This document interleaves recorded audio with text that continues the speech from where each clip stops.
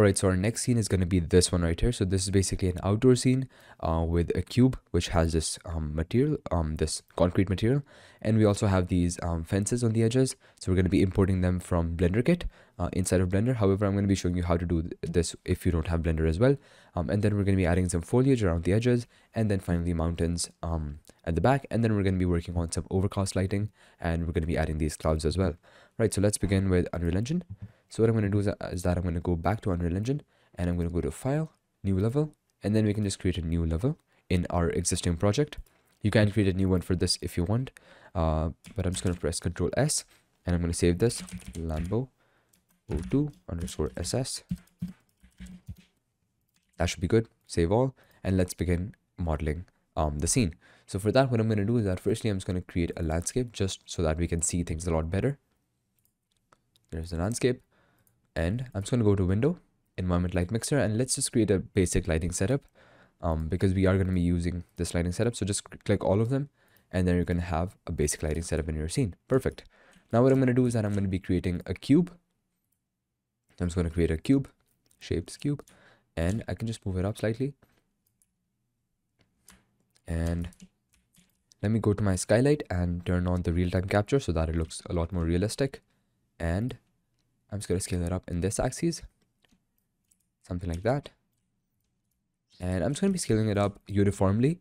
And then I'm going to be scaling, uh, I'm going to be duplicating this multiple times. So let me just undo it and let me turn on all the snappings.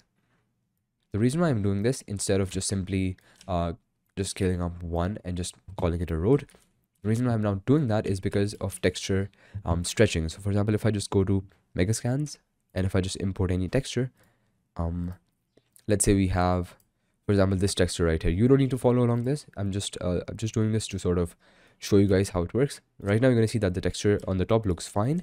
However if i just scale it up you're going to see that it's going to stretch. And when we add the road texture we don't want it to stretch right? So i'm just going to undo this and yeah so that's why we're basically having sort of one square um block and then we're just gonna duplicate it but before we continue to duplicate it, what I'm going to do is that I'm going to go back to my previous level and I'm just going to be importing that same exact car. You can obviously use any different car if you want. I showed you how to import cars um, in the first part of the course. I'm just going to right click this Lambo folder, select all descendants, press Ctrl C with all that selected. Let's go to our second level and I'm just going to click anywhere and then I'm going to press Ctrl V. So it's going to give us this car in our scene, which is pretty pretty good. Otherwise, we're gonna ha we'll have to texture the whole thing again and it would have been a hassle. However i think it's pretty good now. So let me just place it right that. And it is slightly above the ground. So i'm just gonna um turn off the snapping for now and let me just move it down slightly. So that is just resting on top of the floor. Let me turn snapping back on. And now so basically now the reason why i did this before um creating the road was so that we can get an idea of how big we want to make the road. And now we have a good idea of the scale. So I think something like that should be a good road. Yeah, that should be good. Let me move it right there. And what I'm going to do with this is that I'm going to duplicate this now. So I'm just going to hold Alt on my keyboard and drag it. Make sure that you um, place it exactly at the point where the first one ends so that it doesn't um, overlap. And then I'm just going to place that one right there as well. Alright, so now our road has been completed.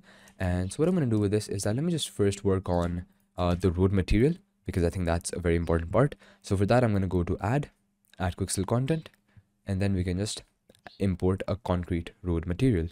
So I'm just going to wait for the bridge app to open. Right, so once this is open, I'm just going to hover over the home tab and I'm going to go down to surfaces and then I'm, I'm going to go down to concrete. And so you can just choose any one of these uh, so I think the one which I chose was, um, so basically you can choose any one of these, but I think the one which I chose was, might be here. I think it was this one, cracked concrete. Yeah, it was this one right here. Uh, so it's called cracked concrete. Um, let me show you, let me show you this in Megascans. It's going to go down. Yeah, it was this one right here, cracked asphalt. That's what it's called.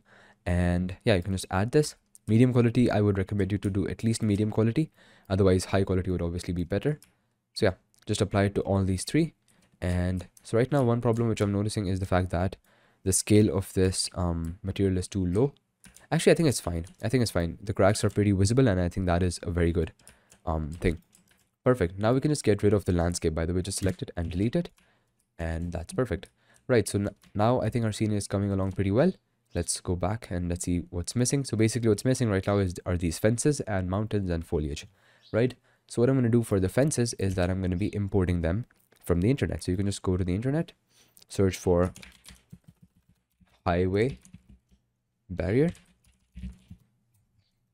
and then I'm just going to write 3D model free. And so you can just download any one of these highway barriers. I think this one is going to be good. This one right here. Um, but it's paid. You can find free ones as well on other websites. Or uh, what I'm going to be doing instead is that I'm going to be using um, Blender for this. So just open Blender if you have it. And then you can simply just, um, my bad. Yeah, you can simply use the Blender Kit add-on uh, to import any sort of model which you want. And in this case, that's going to be a barrier. So I'm just going to search into BlenderKit barrier and wait for it to open. Yeah, you're going to see that we have really good barriers. Uh, the credit for these go to nobody. this tool is called nobody. Um, but yeah, he is the one who made them and we can just download them for free. So yeah, that's perfect. Just click it and it's going to appear in our scene. Um, so basically to, to sort of export anything from Blender into Unreal Engine, what you have to do is you simply have to click File, Export, and then FBX. And now you can just save it whatever you want. So I'm just going to go to go to my models folder and you can just call it whatever you want. So barrier or whatever. And then just click export FBX. Now I'm not going to do that because I already do have this exact model exported. So once you have it exported, you can just go back to Unreal Engine and then you can open a file browser and you can go to wherever you sort of exported that. I'm just going to go to this model folder.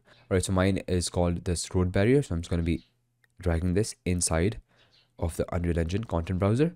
However, I'm not going to drop it like that. So let me just drop it right there. And I'm just going to create a new folder for this. Um, right click this, new folder, and let's call it barrier underscore ss. And I'm just going to be importing this in that folder. Just drop it right there. Just click import all and cross out these errors. Now you're going to see that we have this barrier. Perfect. So you can just drag this in your scene and you can place it exactly the way you want it to. Um, make sure that it is flush with the ground, which it currently isn't. So I'm just going to be moving it down slightly. Let me turn off snapping so that I can move it precisely. That's perfect. And then I can just turn on snapping and then I can simply just continue to duplicate this. Like that. Select both of them and then just duplicate them again. Like that. Then I'm going to select three of them and duplicate them like that.